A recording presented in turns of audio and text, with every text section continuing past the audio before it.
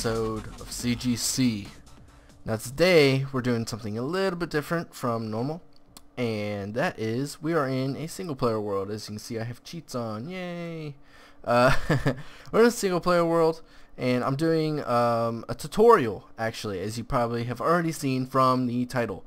It is a powerless um, fortune style quarry basically uh, to put it at the best way that I can. Um, we're going to be using Thaumcraft, which has um, a pretty much infinite power supply uh, using the ore nodes in the, the earth or in the world, I guess, in the Minecraft world in order to, you know, uh, use power and mine. And the special thing about this type of mining, uh, which is a lot different from any other any other type of mining is we're able to put fortune on it. So uh, we're able to get multiple diamonds from each piece of ore, multiple uh, or or more redstone, I guess I should say, more lapis, all those kinds of things. Anything that drops something, we're gonna put fortune on it, because you know why not? Um, so that's what we're gonna do today. So these these are the um, what I would say bare essentials, I guess. Uh, you're going to need uh, two uh, pickaxe of the cores. Uh, efficiency 5, repair 1, fortune 3, and unbreaking 3 are uh, the needed enchants uh, for this. Well, I guess you don't really need efficiency. The ones that you need are repair 1, fortune 3, and unbreaking 3. Efficiency is obviously going to make this whole process go a lot quicker. the better the efficiency, the better you're going to get. um, for the wand, you're going to need Charging Wand, Treasure 3, Potency 3, and Unbreaking 3. Really, I think Treasure 3... I'm not sure, but I think Treasure 3 doesn't do really anything. Potency, Unbreaking, and Charging are the three that you need uh, exactly.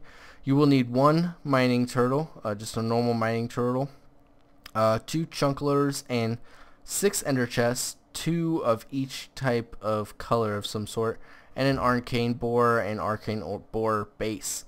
So let's go ahead and get started. So first off, let's just take all this. Why not, huh? So first off, let's go ahead and put down some of these things that we're going to be needing. Now I set this up this little setup here uh, just to um, get rid of the items that are coming into the ender chest but normally you would want to use something uh, maybe maybe not an AE system you're gonna want to pipe uh, into a chest and then take it out of that chest. And I'll show you that in a little bit why you would want to do that. So it's better to use two pipes with autarchic gates to pull out of that chest and pump it into another chest and then use um, maybe um, something like uh, an AE system to pull out or you know a, a sorting system to be here basically. Um, whatever you decide that you want to do basically is what you would want there. Now the next thing you're going to do basically uh, is oh, whoops wrong thing is put down the arcane borer now uh, this setup has basically been designed to have one tunnel already pre pre dug basically. I dug three here. I was doing some testing so I dug uh, three holes to do some testing to make sure that my automatic recharging station would work properly. And it does but uh, I can show you guys that later. But basically uh, you want to start with one hole. One hole is perfect uh, you don't need any more or any less. Um, oh I guess one other thing you're gonna need is whoops is a type of wand. Uh, I'm just gonna use uh, wand of your apprentice is absolutely fine for this whole setup. So you're gonna want to put down the base facing you're gonna want this guy facing yeah uh, back basically.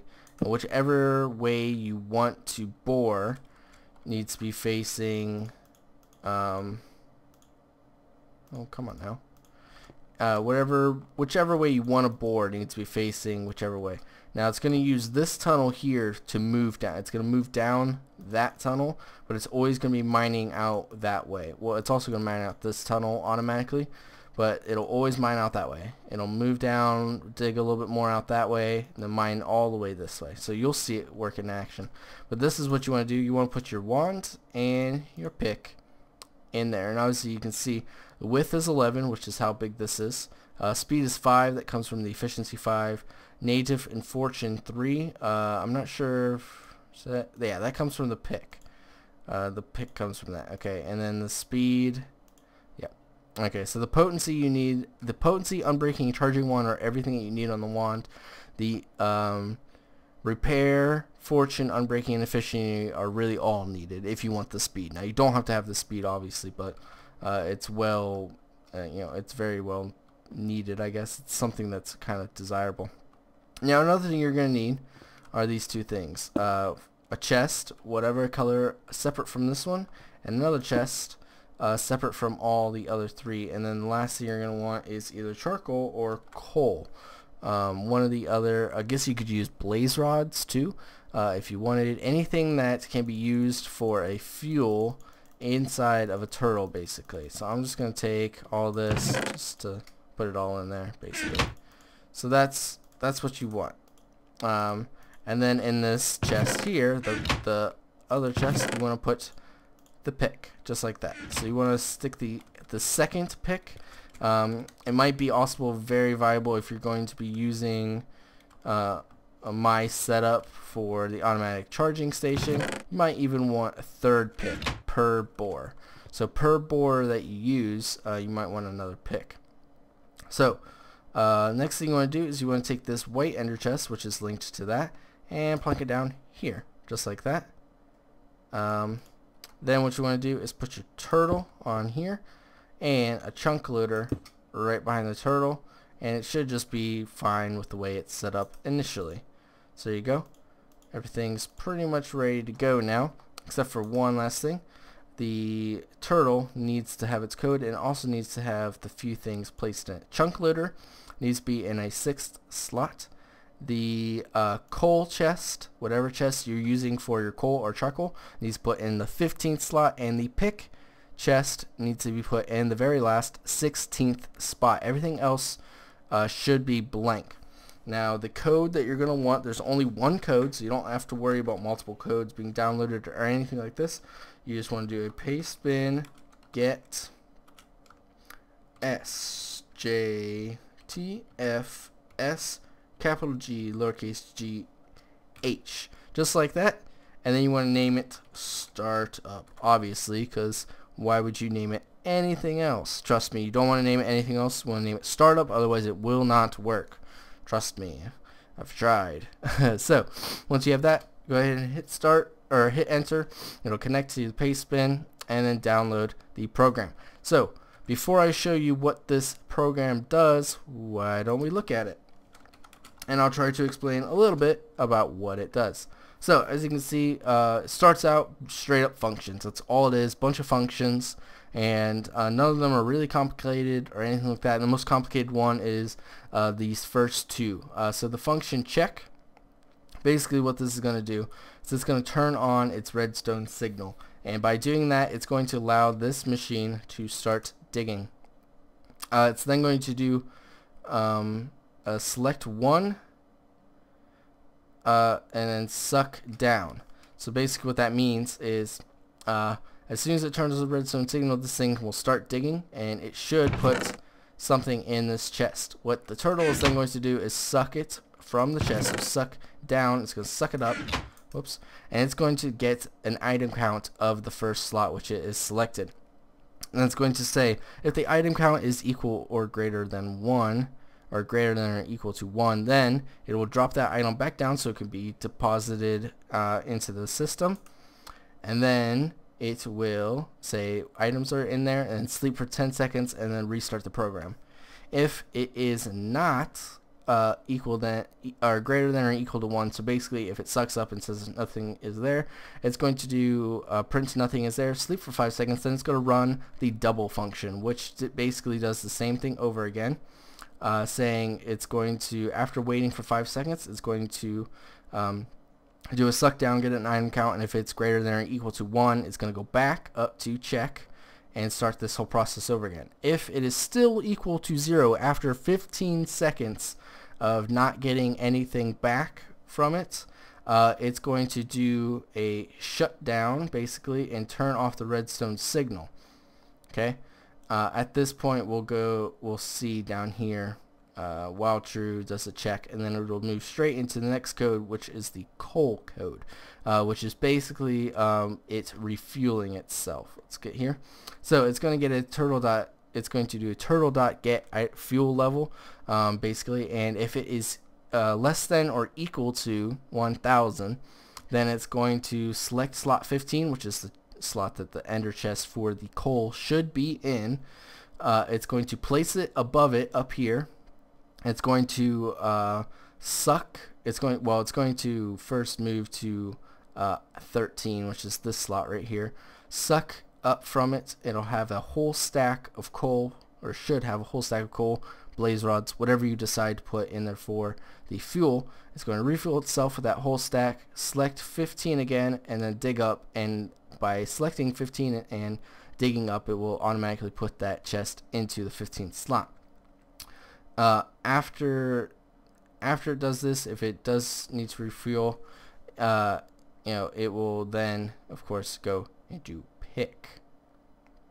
Uh, the pick function, of course, will then uh, let's see. It will select one and suck out of here. So basically this is normally what happens is the coal will run after everything has been finished. Once it has dug this line and that line down there, it's finished. So it will suck out these things when the pick function. After it gets refueled, it will then suck out, uh, it will suck once and that will pull out the first item which is the wand. Then it will suck a second time and pull out the pickaxe of the core and put them in the respective slots 1 and 2. Uh, it will then select 16, which is the ender chest for the pick, and place it up. It will then select 2, put that pick into that chest, and then suck the other pick, which should be in slot 1, and put it back into the second slot. It will then select 16 again and break that chest and put it back into that slot basically. Um, after that, uh, it will move. So it's going to do this whole thing where it will uh, select slot 3 and dig in front of it.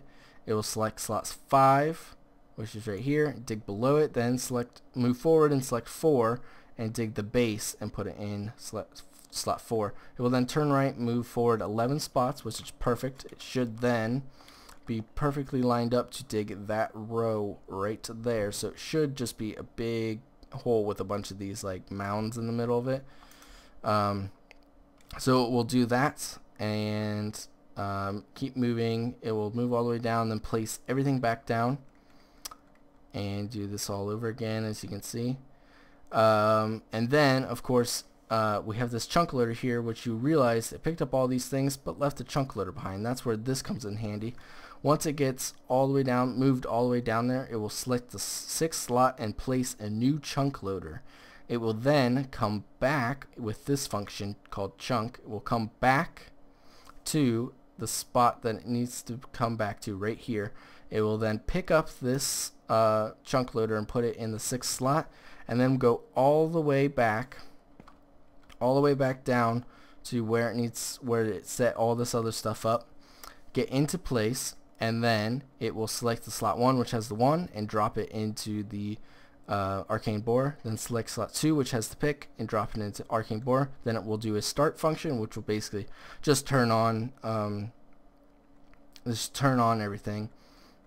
Um, and then it will also do um, a tunnel function, which basically what the tunnel function is meant to do is it's meant to have the turtle place down the arcane bore on this side so that it faces this way and digs out that, uh, which you'll see happen, of course.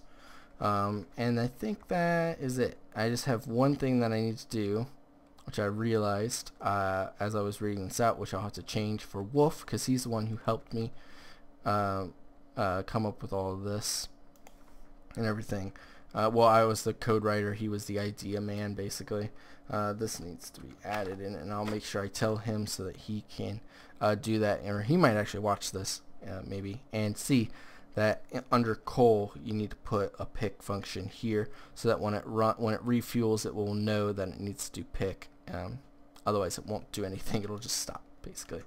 Uh, so uh, I think we're basically ready to see this thing run. And I'm just going to show you uh, because I've dug this out it should maybe dig just a little bit and then uh, do the moving part. I want to show you how it moves and how it does all the coal stuff. So let's do a reboot and it'll say nothing there. It'll wait for five seconds. Obviously this guy is on. He dug a little bit but not much. So he's gonna pick that up and he refueled himself. Now he's picking up all the pieces and he's moving down 11 spots. So you can see he's moving down. He's gonna place these things down and he's gonna do the tunnel function now which is basically means he's going to dig out uh, this part of the function. But first he has to go back and pick up this chunk loader because he forgot it basically. Um, the way that works is so it could be in a chunk loaded area. Now this doesn't update unless you click on it, but um, like it updates basically, but it doesn't visually update unless you click on it. That's why I clicked on it. But as you can see, it's working. Uh, like I said, it doesn't visually update. It doesn't show it mining and stuff, but it's working.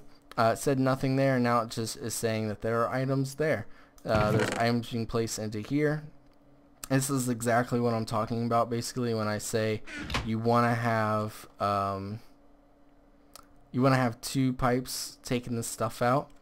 Um, I, I've tested it a lot and it seems to work just fine with just two pipes. It doesn't ever get over a stack of cobble and those two pipes right there are fast enough to pull out that stack of cobble basically before in that time that it takes to move and do all that stuff. So uh, I'm gonna maybe do a little fast forwarding here uh, just until it gets ready to start moving again. But we'll, I'm just gonna sit here and wait uh, until it gets ready to start moving and I might just fast forward this bit because it might be a little slow. So I'll be right back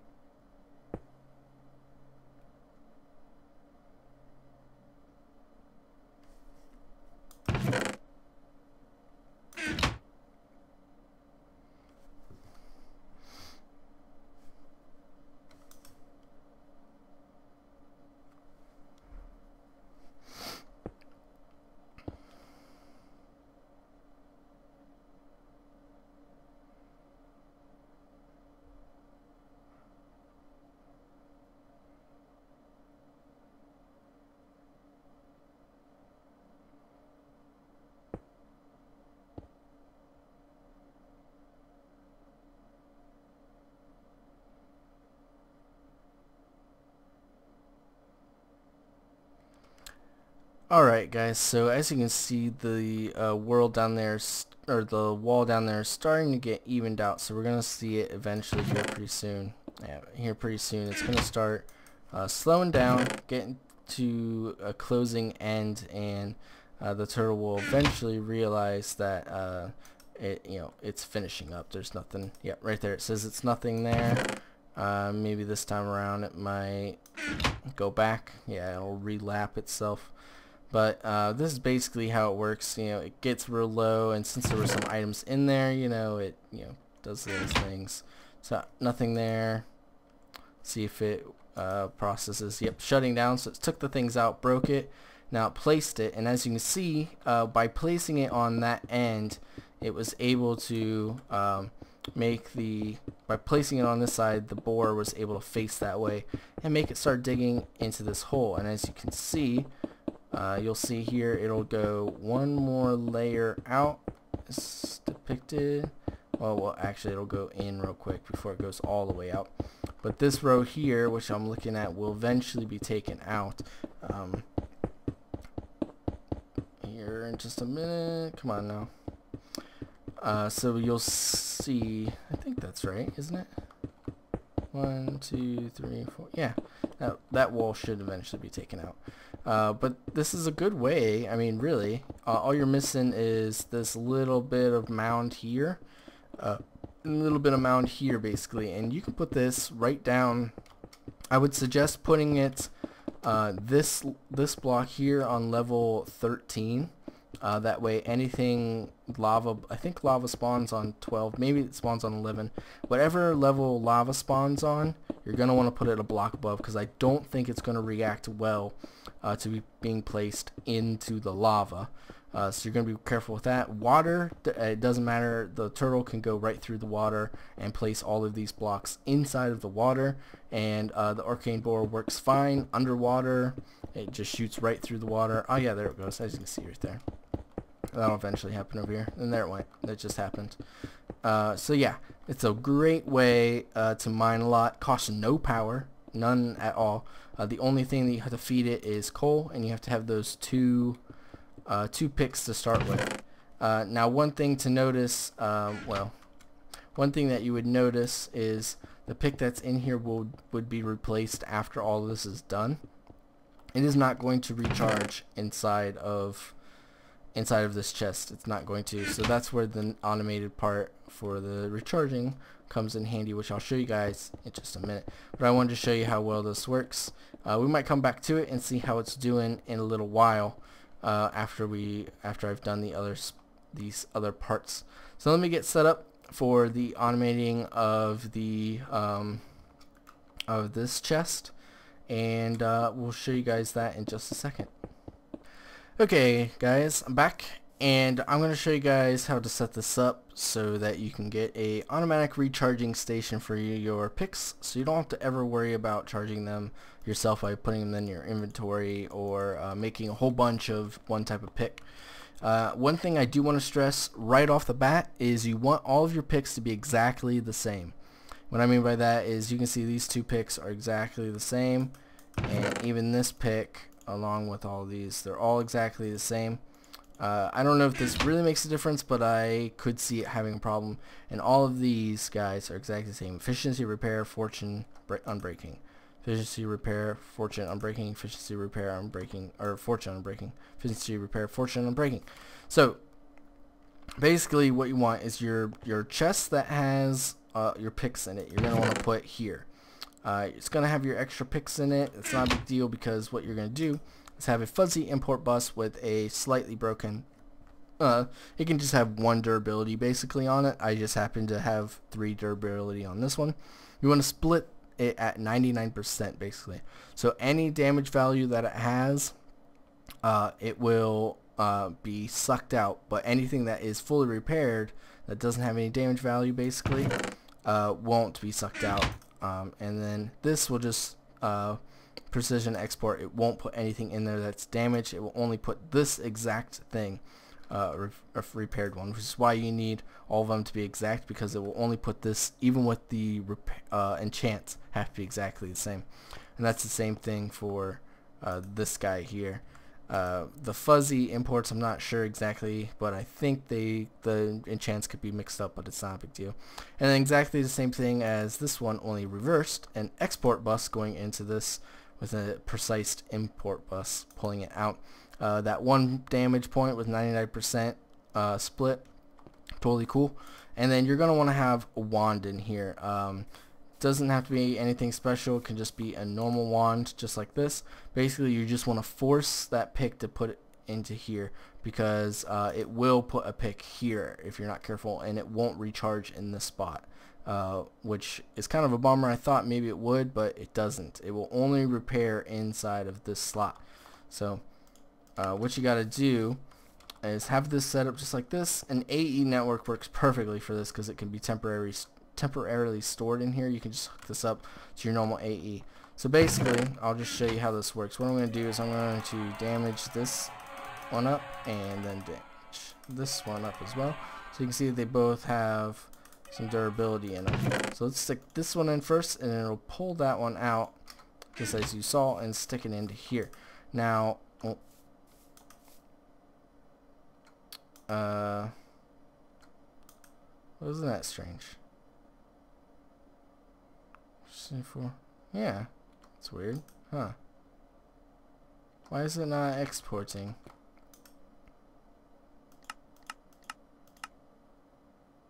Exports. Ex export.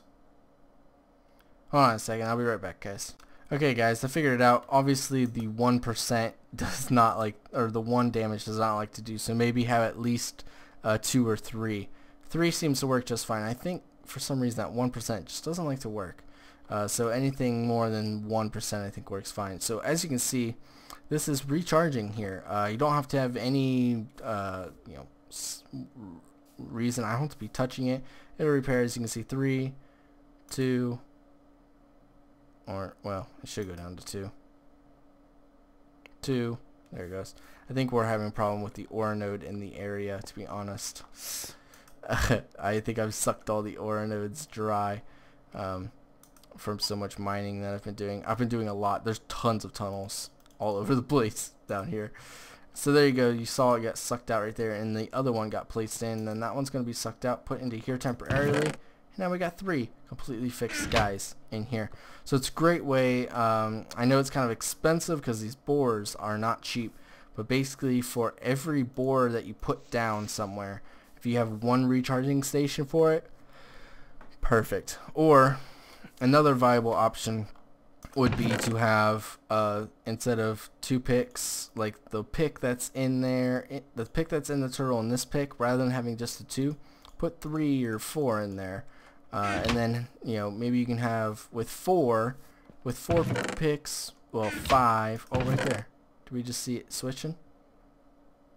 Might just switch pick. Maybe that was just me. Did it just switch picks? Yeah, it did. Look, it just switched pick. That one's at 400 now. So we can see down here. Uh, let me just turn this back on. You can see down here. This one hasn't been fully drawn out yet, but I think that's just because of the ore node. If I get some goggles revealing on, you can see yeah, this one's pretty low, pretty low, pretty low because of all the recharging and stuff that I've been doing in this one area. Uh, you're going to want to do this in a digger age. Set up your an AE system in a digger age. Look how small this ore node is. And it's a bad ore node too, which doesn't help any. But um, you're going to want to set this up in a digger age, not in your world right underneath your base because it will harm you. Uh, that's the one downside, of course. Every mining system has a downside. The one for this just happens to be that it is um, can cause very big detrimental problems to uh, the ore nodes in the area.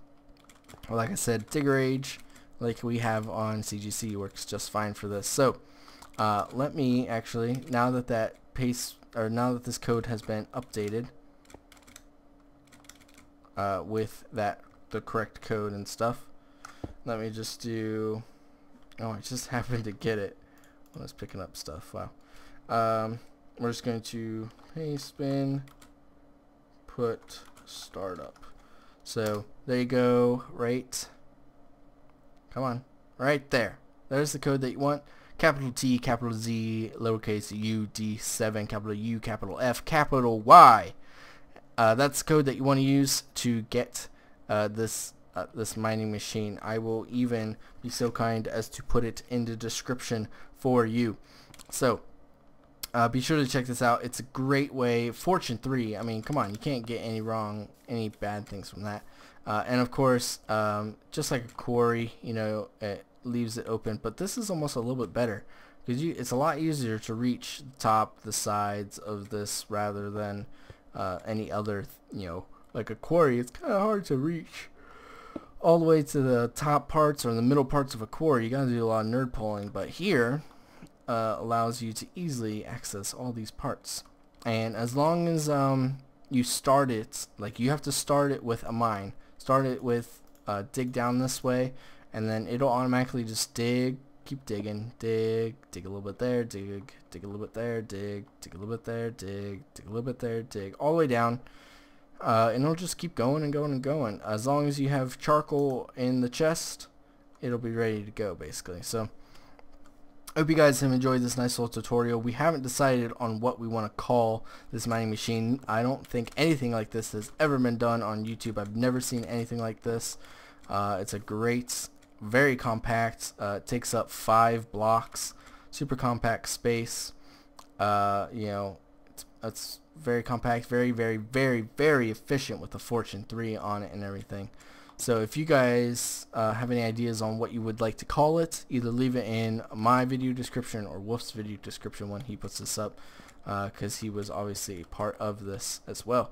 So uh, make sure that you uh, you know tell us what you think it would be, what it should be called because we're rubbish with names to be honest.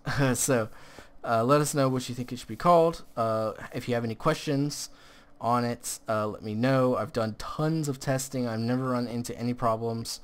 Um, uh, the only problem I've run into is um, Aura nodes, uh, but even still, uh, I, the only problem I've ever run into with an Aura node is here in single player. In a multiplayer, where it's in a digger age and stuff, um, we I've tested it in my in our digger age basically a little bit, uh, and I just let it go, and I avoided avoided everything that came through so it wasn't cheating but uh, just let it go for a while and it never it completely finished all of its tunnels never ran into any problems because it was constantly uh, you know after it had dug maybe two tunnels it switched to a new aura node that was completely fresh ready to be pillaged. So it worked out really well basically so um, thanks for watching this guys like I said if you have any questions or want to name the device something like that um, we'll definitely consider all of your thoughts for it. Um, any questions for the coding, anything like that, just let me know and I'll get back to you as soon as I can. So thanks for watching guys. I hope you've enjoyed this little tutorial